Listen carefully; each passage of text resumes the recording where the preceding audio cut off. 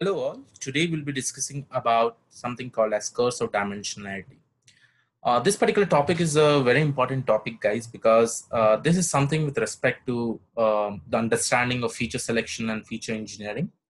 Uh, the curse of dimensionality. So let us just understand what exactly it is. So when I call, say something about dimensionality, this is nothing but dimensions. You know? This is something called as dimensions. Dimensions are also called as features features. It may be independent feature or it may be a target output feature. Uh, features are basically like attributes. It is also called as attributes. Okay. It is also called as attributes. Now let us just consider some example. Uh, I'm going to take a data set and in that particular data set, suppose I want to create some independent models. The only condition that I'm going to change is that in this particular model, from that particular data set, I'm going to take two features. From in my next model, I'm going to take five features. In my model M3, suppose I'm going to take 10 features. And then in M4, I'm going to take 100 features.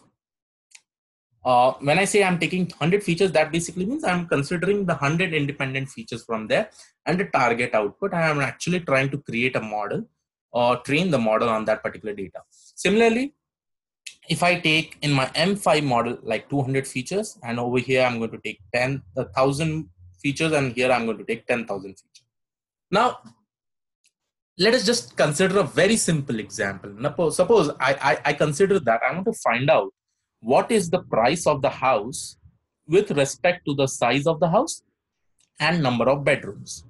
Okay. Now, if I take this scenario, I have two independent features, right?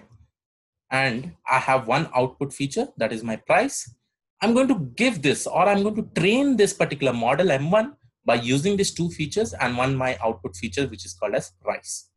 Now in my next model, what I do is that, and suppose I get some accuracy AC1, I'll say ACC1, okay? Now, in my next model, which is my independent model M2, I'm going to give the same data set, but instead of just giving two independent features, I'm going to consider five independent features now. Now, when I say five independent features, it may be something like state, okay? It may be something like what is the bedroom size? Okay? And any number of features that i can additionally add. You can just think of that. You are just trying to make up some features and you're trying to provide this particular information to the model right? Now when i give this five features to my model m2 and i train it it definitely gives me a better accuracy than the previous one right because in this particular model i'm going to give a data set which has enough information for the model to learn more about the data.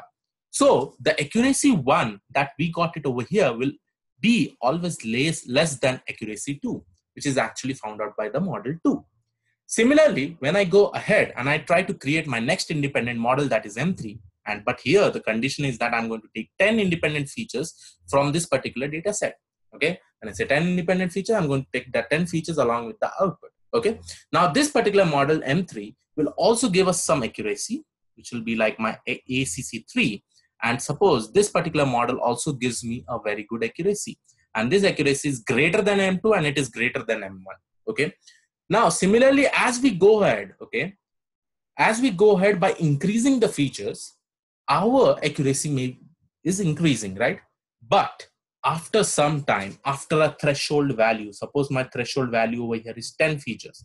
After this particular threshold value, what usually happens is that as we increase the number of features, right, our model will not be giving much more accuracy than the previous one.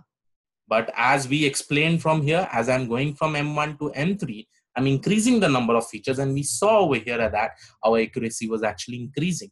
But when we went to M4, you know after reaching a threshold value of the number of features we we are actually giving away a hundred features right? And we are trying to train that particular number of features in my next independent model that is m4 and here i'm finding it out that the accuracy that i am getting over here which is my acc4 will be less than this particular m3 right?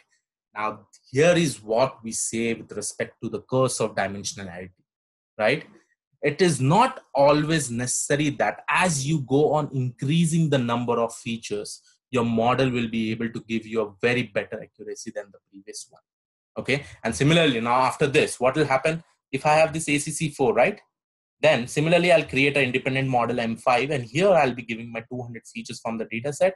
And over here, you will be seeing that you will be getting another accuracy ACC5, which will be worse than this particular ACC4, you know, because the number of dimension is still more increasing. Now, why does this particular thing happen? And similarly, it happens with respect to the 100,000 features and 10,000 features. As you increase the number of features, after the threshold value, your accuracy actually decreases. But the next important question is that why does it actually happen? Right? That you need to understand. Now, see, as we are going from M1 to M2 and M2 to M3, as we are increasing this number of features till the threshold value, the model is able to learn more and more information from that particular data more and more unique information, more and more necessary information to actually predict the price or the target output of the particular use case. But after the threshold value, what happens is that as the number of features increases exponentially, guys, this is the most important term. If it increases exponentially, the model gets confused because you are feeding him a lot of information from that particular use case itself. So the model gets confused. It literally you know the thought of that particular model literally scatters out it will not be able to observe all that particular information hence the accuracy decreases you know so the confusion on that particular model after learning with respect to so many number of features it tends to make the accuracy of that particular model lower and similarly after this particular threshold point when we see that our mod uh, our features is actually increasing exponentially from 100 to 200 to 1000 to 10000 the accuracy will be decreasing. And that is what is called as curse of dimensionality.